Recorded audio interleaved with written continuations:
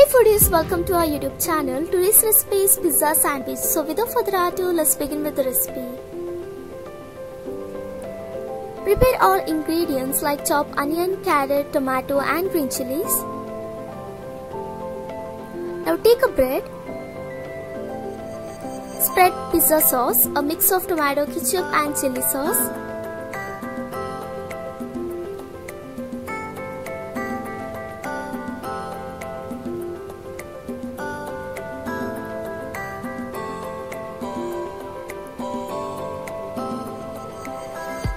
Then add chopped veggies. Here I am adding tomato, onions, green chilies, carrots.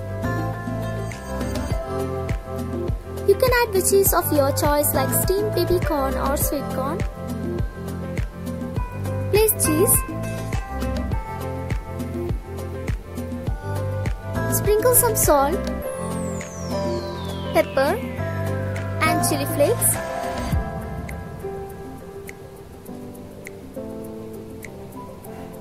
Close the lid and roast the sandwich on low to medium flame.